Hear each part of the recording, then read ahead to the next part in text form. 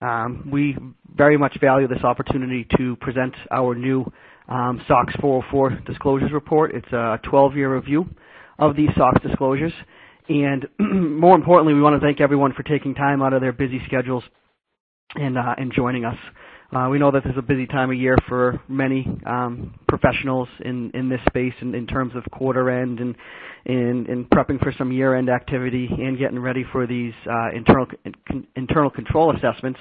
Um, so with that being said, I just want to give everyone a, a, brief introduction to audit analytics and then jump right into what everyone um, signed up for. Um, so for those that, that aren't aware of us, um, we're uh, an independent research company that specializes in tracking audit, regulatory, and disclosure intelligence. So we look at all of the uh, SEC disclosures in the public filings, and we're really specializing going in in quantifying and normalizing qualitative data um, so these are the non-numerical type disclosures that companies are having, whether it's a financial restatement, a late filing, uh, an audit opinion, a Sarbanes-Oxley disclosure, which we'll be discussing today. And um, you know, we, have normalized that data and, and, placed a lot of different classifications on it, such as uh, industry, um, revenue, size of company, uh, things along those lines to make this information uh, more digestible for the end consumer.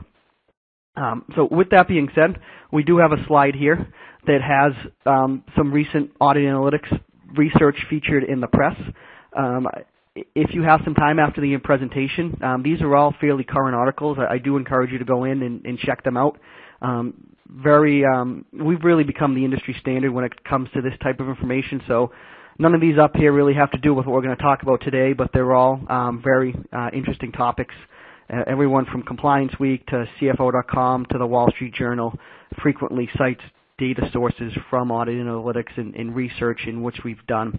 Um, so those are all great reads, so I do encourage you to go in and check those out when you do have a couple of, of spare minutes.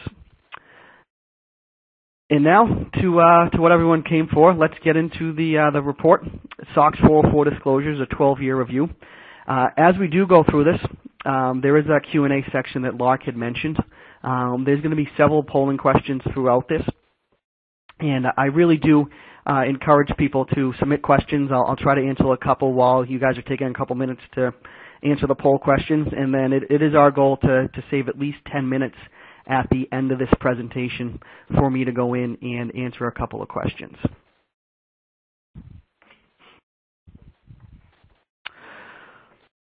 So real quick, the uh, executive summary, high-level overview briefing of this report. Um, as you, many of you know, the, the SOX 404 requirement, Sarbanes-Oxley, went into effect on November 15th of 2004. And it was a, uh, a two-tiered implementation. So you had both SOX 404A and SOX 404B filers.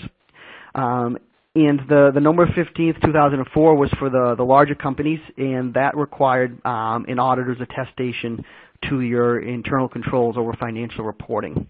Uh, as of December 15th of 2007, this was for the non-accelerated filers, the smaller reporting companies. Um, they required a management-only attestation to their internal controls over financial reporting, and they continue to have a, have that requirement today. So during this, we're going to look both at from the auditor's attestation point of view in, in terms of some of these trends, as well as what some of the smaller companies, the management-only assessments, have been saying in terms of trends on their internal controls over financial reporting. Um, so just some quick high-level bullet points. The, um, the lowest annual number of SOX 404 auditor attestations disclosing ineffective uh, internal controls over financial reporting um, was 139, and that uh, occurred in fiscal year 2010.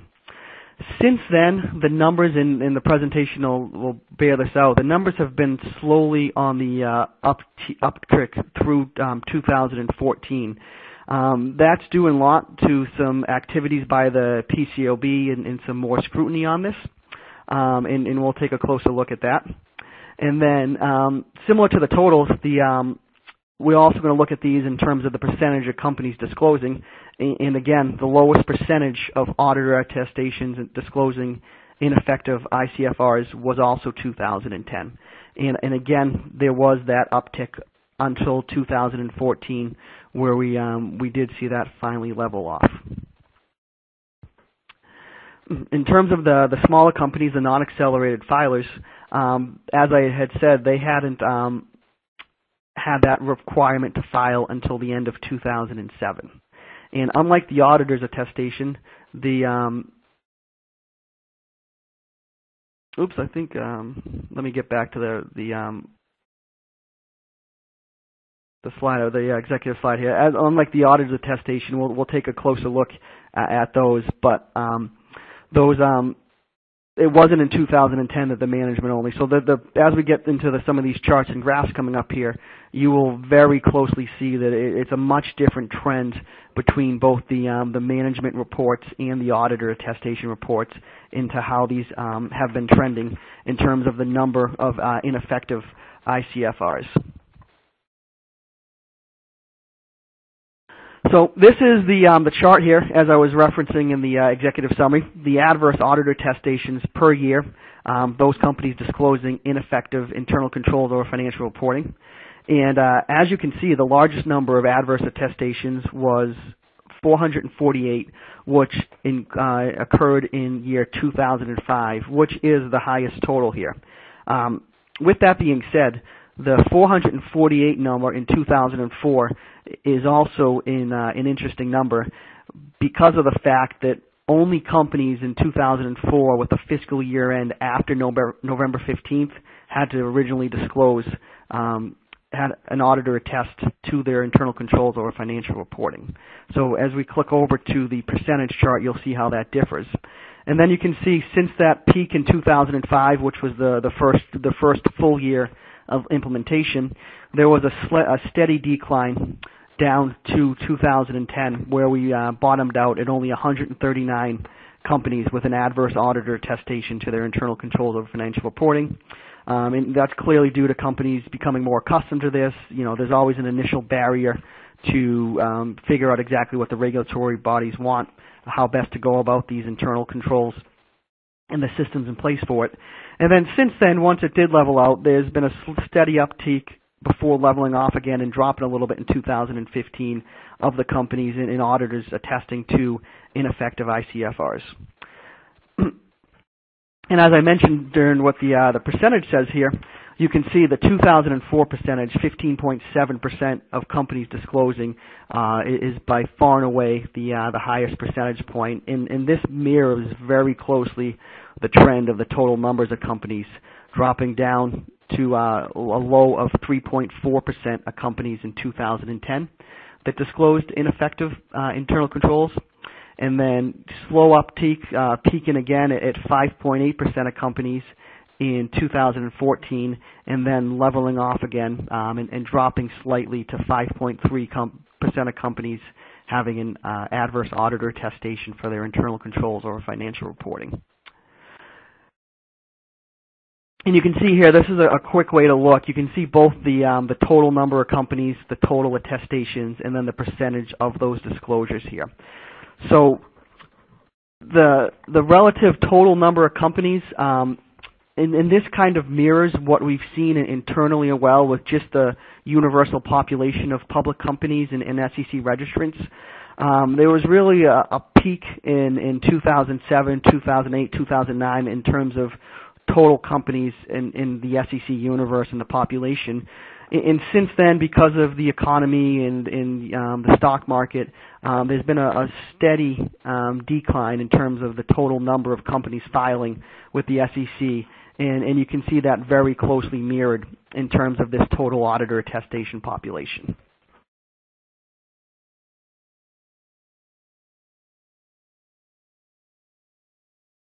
So right here we have um, as I did mention during our, uh, the uh, introduction, um, our analysts go through and we, we track not only the companies having these adverse 404 opinions, but also why they're having the issues attached to it. And it, it comes down to really two larger bucket items as to why a company may have um, internal control issues. And it's an internal control issue itself, which is really some sort of shortfall in the systems implemented by the company. And then they can also have specific accounting issues that can lead to a failure in, uh, in internal controls. So the table here indicates what the top five reasons were in fiscal year 2015 as to what the internal control issues specifically were and, and why a company had it. So we had um, those 225 or so companies that disclosed these ineffective internal controls. Of those, 118 specifically stated an internal control issue because of material and or numerous year-end adjustments uh, which led to the failure in their internal controls. The second most common reason was basically uh, accounting personnel resources, competency and training issues, which is, you know, in, in short, uh, a lack of qualified and, and trained professionals uh, internally to have in place to uh, check these controls. And then you can see also up there was information technology issues, segregation of duties, and then non-routine transaction issues. Um, as I mentioned, there is also um, a, a, secondary reason, um, and those are accounting-related issues as to why a company may have internal control issues. So this brings us to our first polling question. What was the top accounting related issue that resulted in an adverse auditor attestation in fiscal year 2015 for internal controls our financial reporting? Four options here, tax related issues, revenue recognition, cash flow statement errors, and acquisition or merger issues. So everyone go ahead, take a minute or so to um, answer this question, and then we'll, uh, we'll get to the results and uh, see how you guys did. So David, while everybody's answering that question. We did get a question through the um, Q&A, and one of our participants wants to know, does ineffective ICFRs disc disclosures equate to ma material weaknesses? Are you able to explain that? That is a very good question. Um, the that is a technical question, and in short, it should relate to a material weakness, and I would probably say that 95% of ineffective internal controls or financial reporting are a material weakness. Occasionally, um, and, and this is more the exception than the rule, you do have a company that discloses ineffective internal controls, but they say it's not material in nature, and therefore it is not classified as a material weakness. Um, it's a little bit more more technical than that, but and, and that's the, the short answer. So the exception is when it's not. Most of the time, the vast majority, it does result in a material weakness. Thank you for answering that. No problem. Um, so we're uh, we're just over a minute in answering here. So I'll give everyone about another uh, 15 seconds or so to click through, and we can see how everyone did.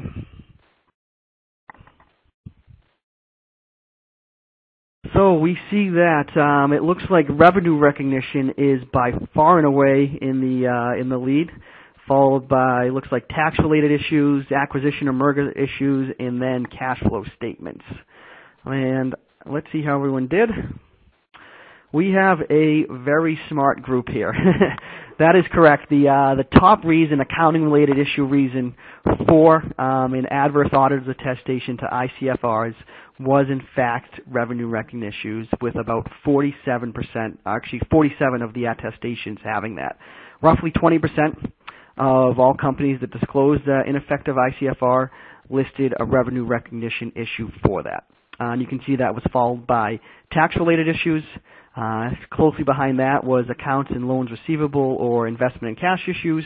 Uh, then after that, we have PPE, intangible or fixed asset issue, and then finally, we have foreign related party or subsidiary issues. So um, everyone, either you all read the report or, or, clicked ahead on the slide deck, or it is a, uh, a very smart group of attendees we have in the audience here.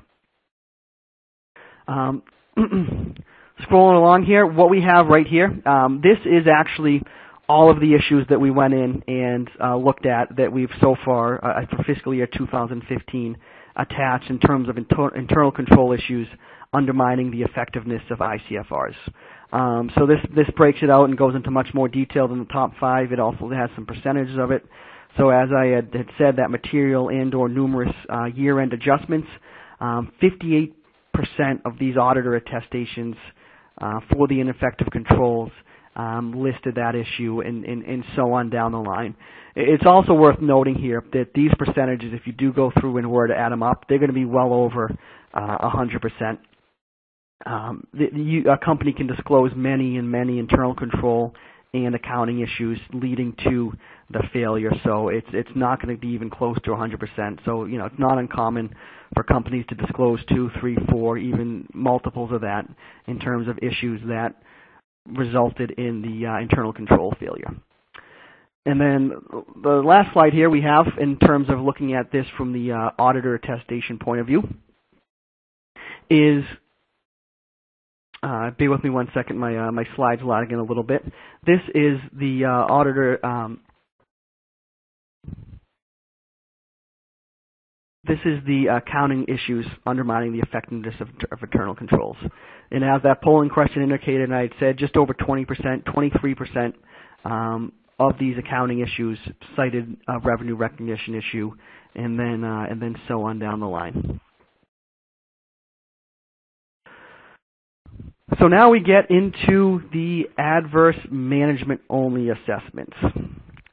So this, this is a little bit more interesting here because what we do look at here is these are just the smaller companies. They, they clearly don't have the resources that the, um, the public companies do. I mean, not, I shouldn't say the public companies, the larger companies do and uh, it's a much different trend in terms of the total number of assessments of these management-only assessments disclosing the ineffective ICFRSs.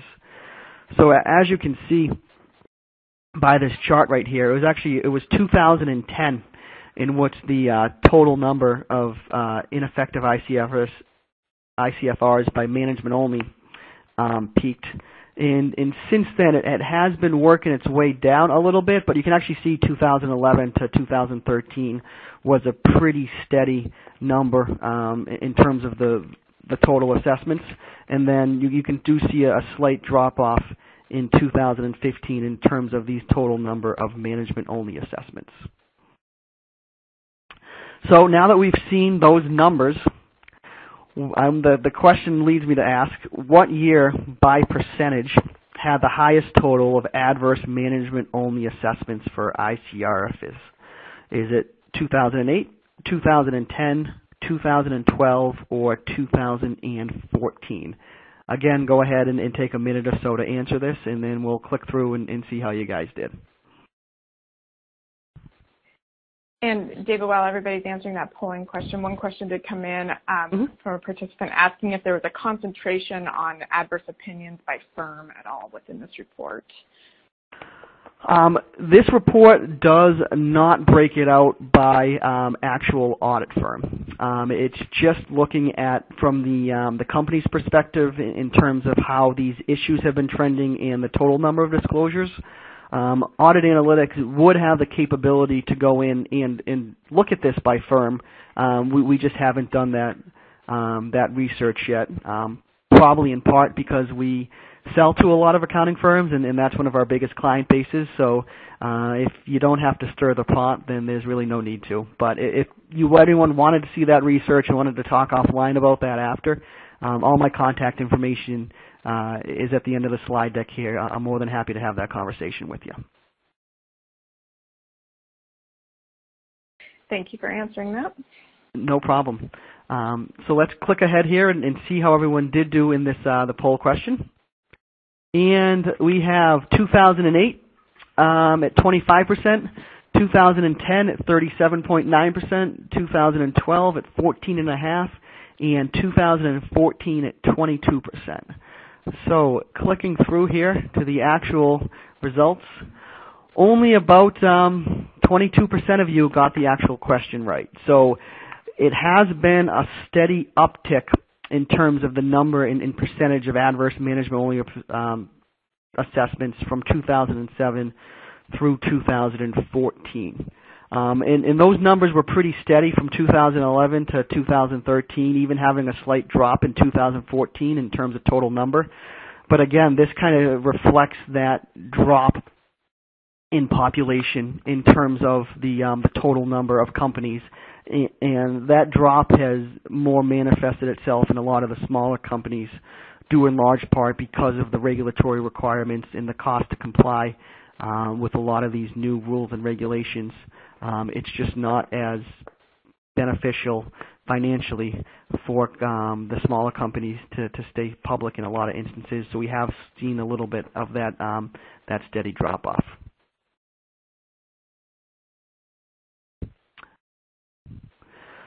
So again, right here you can see this is the um, mirroring up those the ineffective management only ICFRSs with the total management only assessments.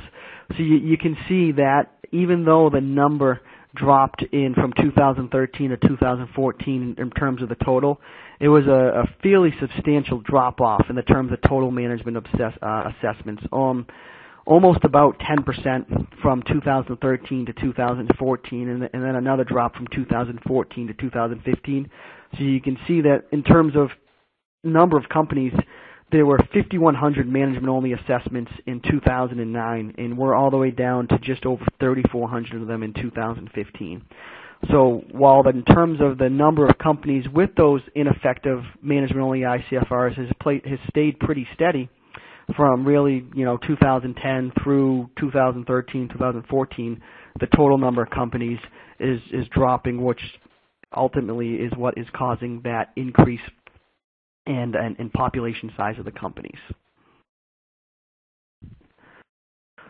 So like we did for the um, auditor's attestation, we, we do go in and look at both internal control issues and accounting related issues that are causing these ineffective ICFRs. So what we have here again is looking at the internal control issues that cause the adverse management only assessments. And at least to me, there's no major surprise here as to what the two most popular internal control issues for management only assessments are. Accounting, personnel resources, competency training, and then segregation of duties um, were by far and away the two most common issues here. We're talking about smaller companies, smaller staff, less resources, so no surprise that it's the, the training of the employees and then the segregation of duties or the designs of the controls in terms of personnel in which is causing these issues. Uh, and then even the next one down, it's ineffective, non-existent, or an understaffed audit committee, uh, inadequate disclosure controls, and then at the bottom of this top five list, there's that material and or numerous year-end adjustment. That was number one in terms of the auditor attestation for these ineffective ICFRs. So that brings us to the um, third polling question we have here. What was the top accounting related issue in fiscal year 2015 causing ineffective internal controls and management only assessments? Was it tax related issues? Was it revenue recognition again? Was it accounts, loans receivable, investment and cash issues? Or was it foreign related party or subsidiary, subsidiary issues? So again, go ahead, take a minute, minute and a half to answer this question, and we'll see how everyone did. Okay, great. And then we've received a number of questions from the audience. We'll go ahead and cover another one while everybody's answering the polling question. And one of our attendees would like to know if they're able to identify trends by industry, either in this report or in other reports.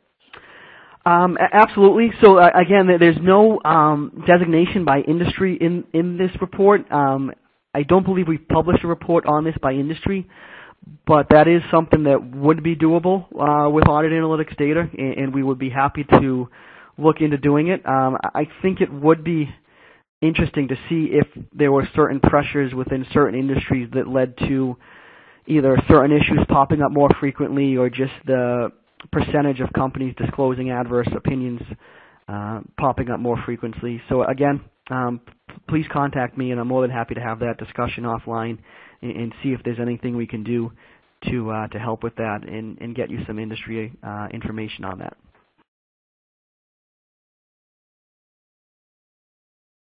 Okay, thank you for answering that question. No problem. So let's go on ahead and see how everyone did here. So again, revenue recognition, 45% of people think that was the number one issue in terms of management only. Um, accounts, loans receivable, investment, and cash issues came in second, tax-related issue, and then foreign-related party subsidiary issues. So let's see how that matches up in terms of our results here. and it was actually accounts, loans receivable, investment, and cash issues that was the number one accounting issue causing adverse management only assessments, 95 uh, of them. After that, it dropped to debt, quasi-debt, warrants, and equity security. Then we have our tax issue, and then you can see revenue recognition followed by that foreign related party issue.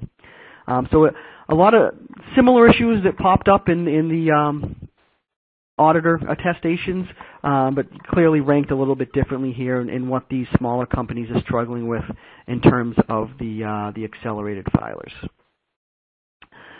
Now going ahead and looking at all of the uh, management-only assessments and, and, all the issues tracked in terms of the uh, internal control-related issues. And again, there's that accounting, personnel, resources, competency training issue.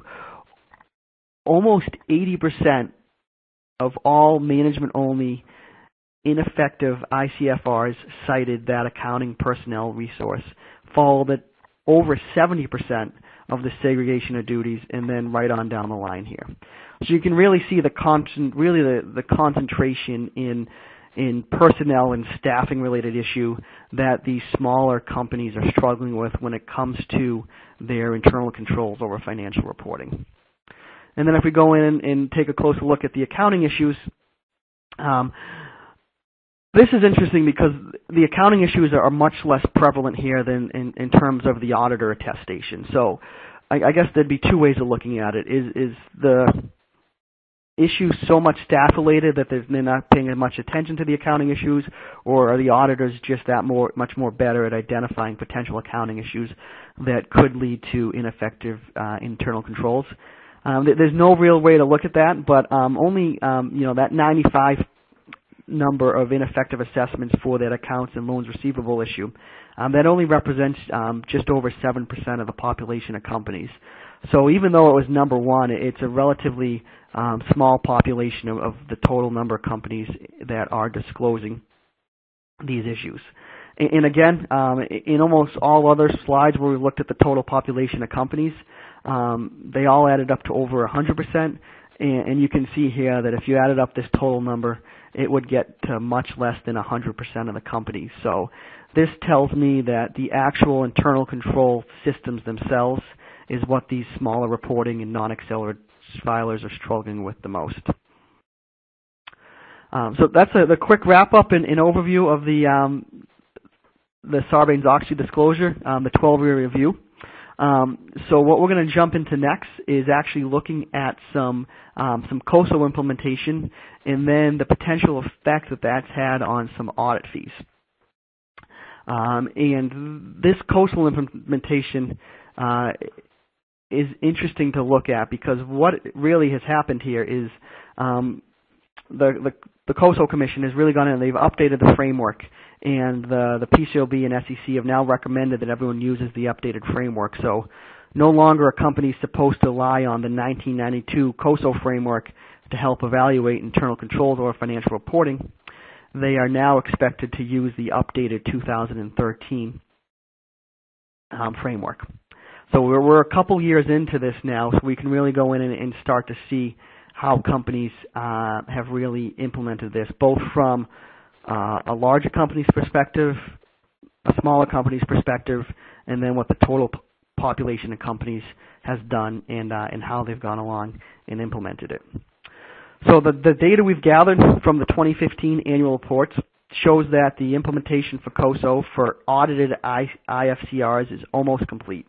So 90%, 96% of companies that had an auditor attestation for their internal controls or financial reporting said they used the 2013 COSO framework, which is up 14% from 2014, where only 82% of the companies said it.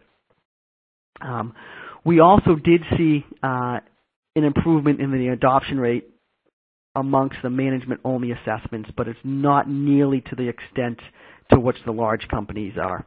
So the number of management-only filers adopting in, in, um, increased to 15, 51% in 2015, and it was only at 37% in 2014. So we've gone from just over a third of companies, the management-only ones, the non-accelerated filers in 2014, up to this 51% mark, so just over half in 2015. So the smaller companies still have uh, quite a bit of ways to go in terms of this framework adoption.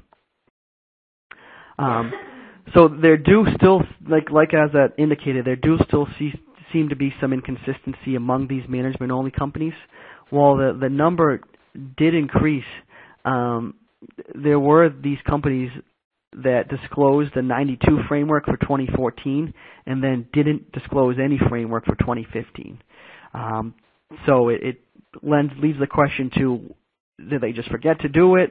Are they undeclared on what framework are they using, or do they just not want to bring any attention to it? Um, so with that being said, the SEC has been very clear about the importance of using this new uh, version. And with that being said, there have actually been 65 SEC registrants and issuers that have received comment letters from the SEC with a request for clarification on which framework they used for their internal controls. And it, it's not even the companies that are smaller ones that have received the comment letter. They're, they're, any company that doesn't disclose it is subject to this comment. And you can see that uh, that last bullet point indicates um, there's really been a, a in size 19 companies with market caps ranging from 83 million to 70 billion received these letters.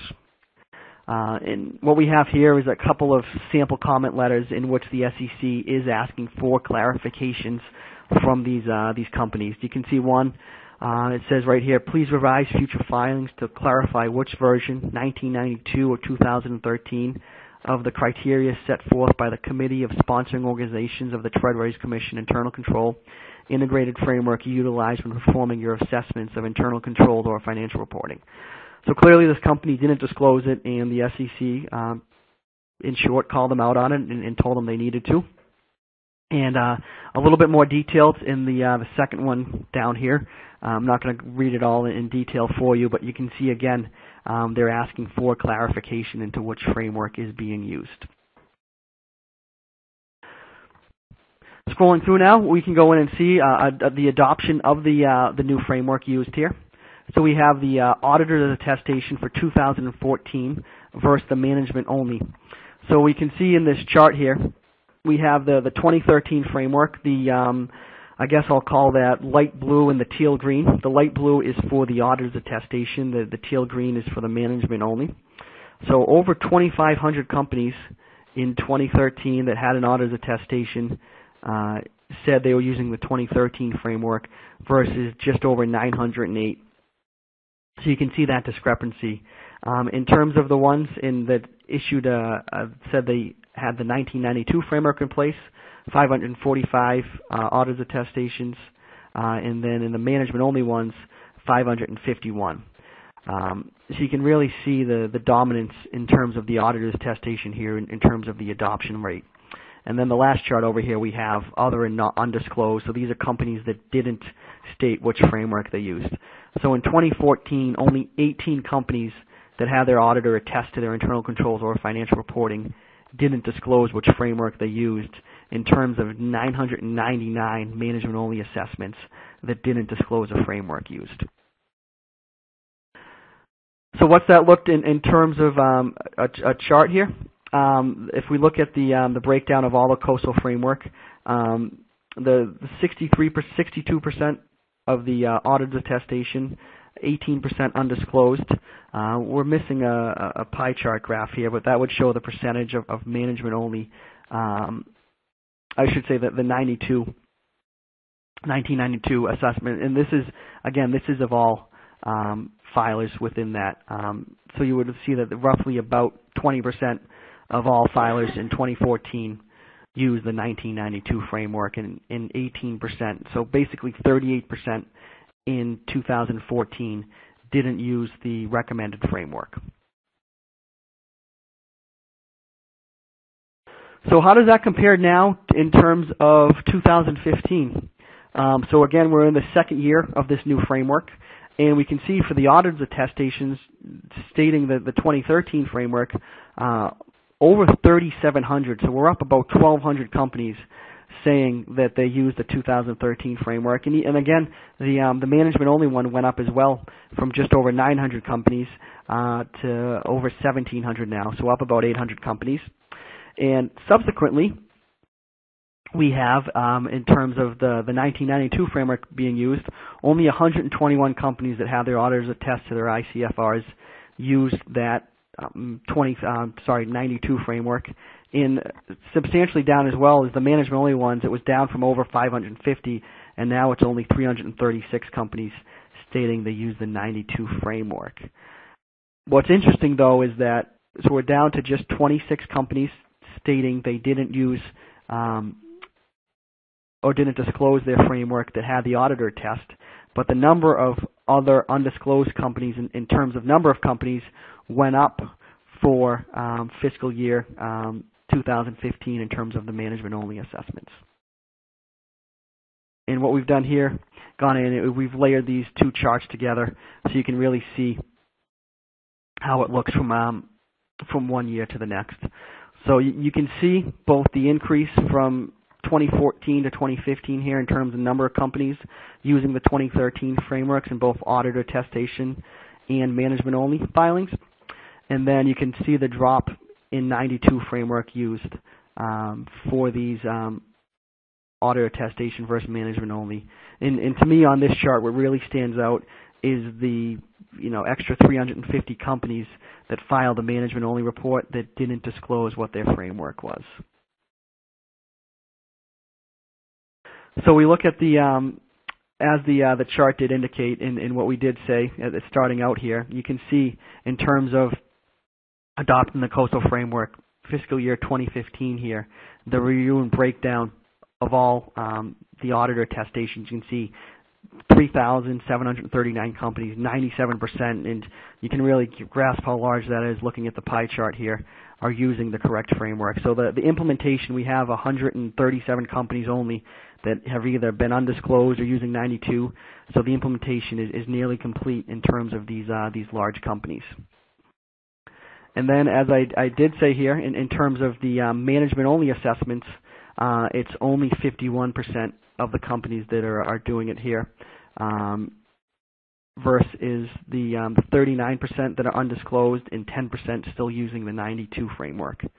Um, so there's still a, still a ways to go here, um, but the, the smaller companies are, are, slowly progressing. Which brings us to our last um, polling question of the day. What percentage of all 404 filers in fiscal year 2015 used the recommended 2013 COSO framework? Was it 66%, 75%, 80%, or 80, 86%?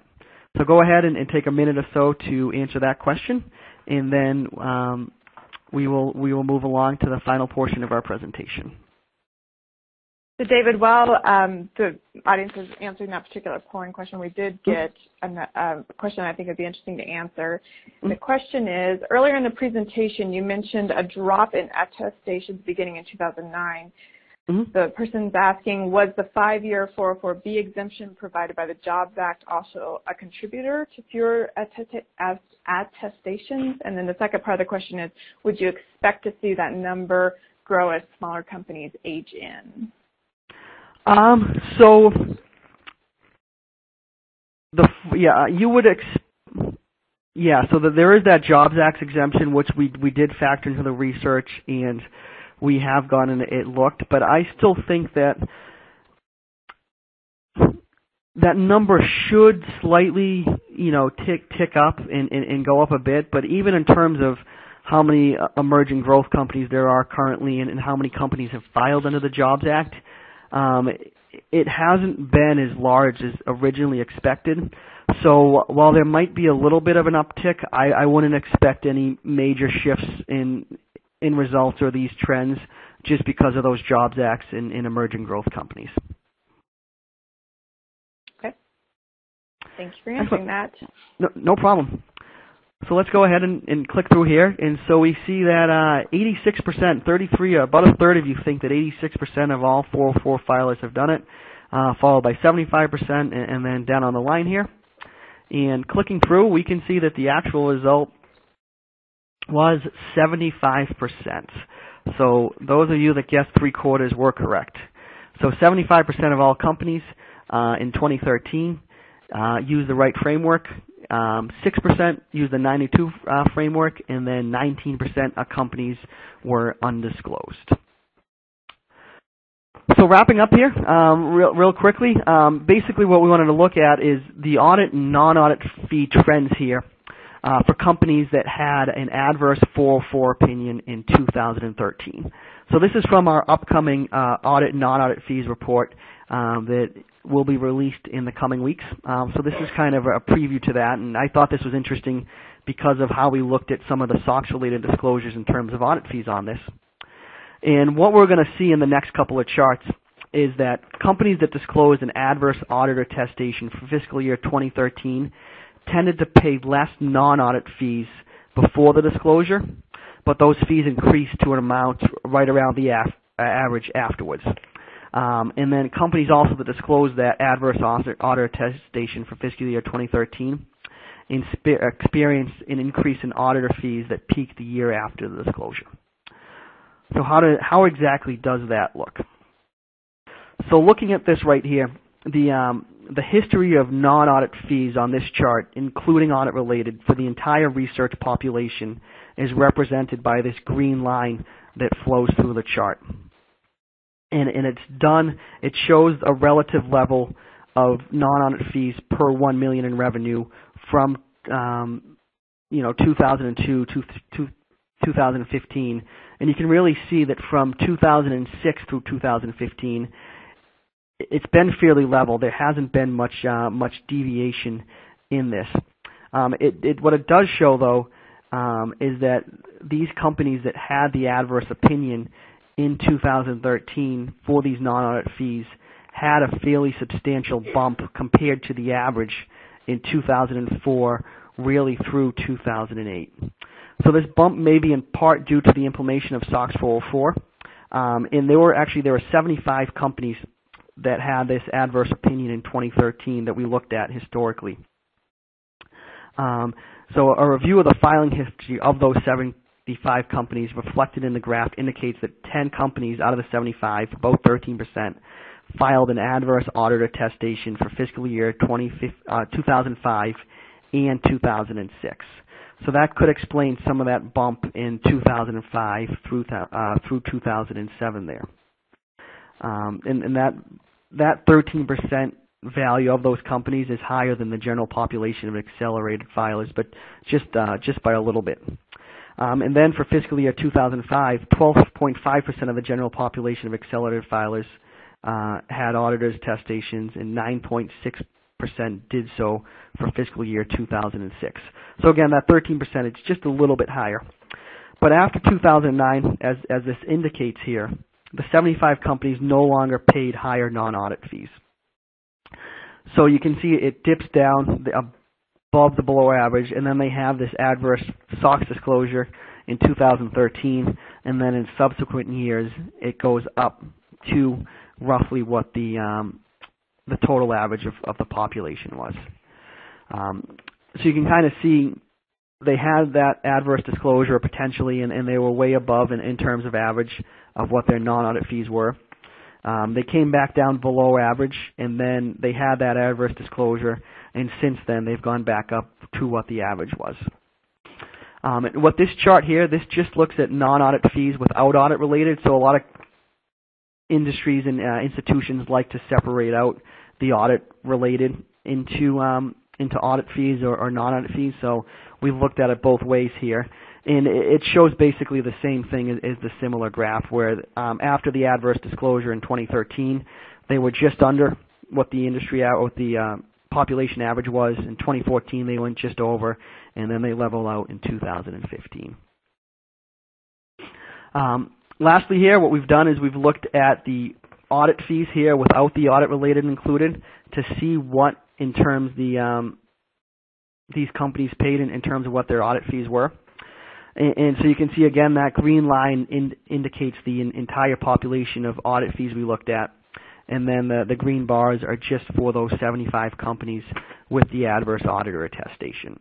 So you can see again, 2004 through really 2009, they paid a substantially higher amount of audit fees per million dollars in revenue than the rest of the population did. Um, they leveled off uh, in 2010 and 2011, and then 2012, the year before the adverse disclosure, there was the uptick. Uh, the adverse disclosure year, there's another uptick, and then there's another substantial jump right after the adverse opinion. So you can see as soon as that adverse opinion was disclosed, um, you know, we're looking at uh, you know, a 30% jump in audit fees here in terms of million dollars uh, per million dollars in revenue. And if we look at that, um, including the audit-related fees, again, it shows uh, very similar trends. 2004 to 2009, they're paying much more uh, than the uh, than the population average. Um, they drop down a bit, and then again, right before the disclosure, uh, the adverse disclosure happens, they start to go up, peaking the year after the adverse disclosure. Um, so this is kind of one way of just comparing the data and, and taking a look to see if that uh, adverse audit or attestation in 2013 has any effect on audit and non-audit fees. And one of the years and reasons in part we did pick 2013 um, was that was the year the new framework came out for COSO, and then it gave us two years of comparative data afterwards to see any uh, any trending after the disclosure. So with that being said, I, I do want to thank everyone again for your uh, for your time today. Um, I, I appreciate this opportunity greatly. Hopefully everyone found it informative. Uh, we do have uh, five or six minutes left on the call here, so I would love to answer some additional questions. Okay, great. Well, we received a number of questions, so we definitely won't have a shortage of them to go over in the next um, seven minutes. But one of them that I'll start off with asks, what is driving the increase in non-accelerated filers not disclosing frameworks used for management assessments? That is a, that is a good question. Um, I, I, don't know if there's an exact answer to that yet. Um, it, it, could be that it's just that they, may, they they could be trying to fly under the radar and figure maybe if they don't disclose, it gives them an, another year or so before they you know have to implement the 2013. But again, as you can see with the the number of comment letters from the SEC, uh, it seems like they're onto them. So I, I, I would expect that number of undisclosed um, to drop next year just based on the SEC comment letters that have come out so far. Uh, but it'll definitely be interesting to see how those 2016 disclosures shake out. Okay. All right. So going through the rest of the questions that we've received, um, one person was wondering if you could if, if you could describe how many companies are large accelerated filers and accelerated filers within the report. Um, so the, uh, I'm assuming they're looking for a breakout of large accelerated versus uh, accelerated filers. Um, Correct. It, it's going to vary a little bit from um, from year to year. Um, so it, it is uh, it can be a little bit difficult. I mean, it's, it's going to vary from year to year, so it can be a little bit difficult to disclose. Um, bear with me one second. I can probably get you a, a quick answer. Um, so in terms of current large accelerated filers, and, and these are rough numbers. Um, so in, in, terms of these are ones that are actively filing right now.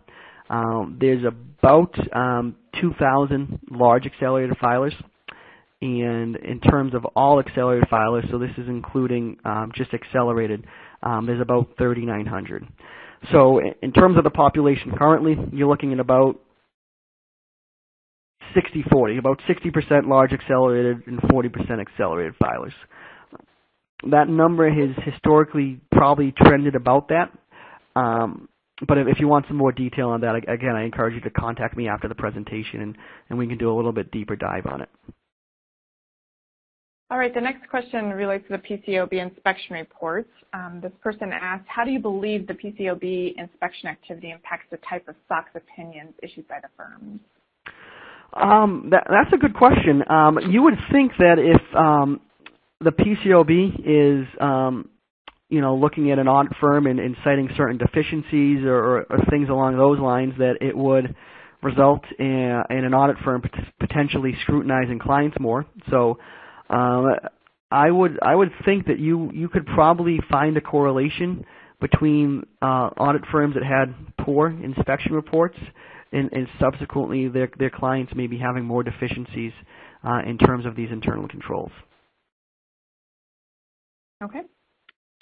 I think we have time for one last question, and um, one person is asking what percentage of these non of these non-public companies are receiving adverse assessments. Um, that might be a little. I don't know if you guys can describe that since non-public companies don't typically comply with SOX, but do you have any data on that? Unfortunately, we we don't have any data on that. This report and most of our research was just done around the SEC registrants. Um, there are a fair amount of companies in here that are um, they're not actively being publicly traded. Um, you know, they're they're filing with the SEC for one reason or another. They could be in the uh, initial stages before an IPO. They could have delisted for a, a, a period of time. Um, they could be a, a certain fund or a trust that has SEC obligations, a, a company that has public debt that needs to register with the SEC and, and thus subsequently filing the, the appropriate 10Qs and, and 10Ks and, and even foreign filings. Um, but we haven't really broken the research out um, to look at that. It's just kind of been on the, the SEC population as a whole. So, um, David, again, thank you for presenting and have a great day. Thank you. Thanks to everyone who took time another day to uh, join us today.